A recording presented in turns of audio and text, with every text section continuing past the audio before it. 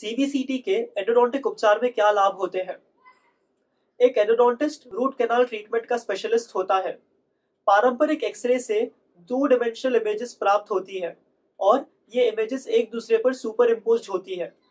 CBCT द्वारा हमें three dimensional images मिलती है, जिससे कि दांत और उसके आसपास के टिश्यूज के बेहतर रूप से पता चल सकता है।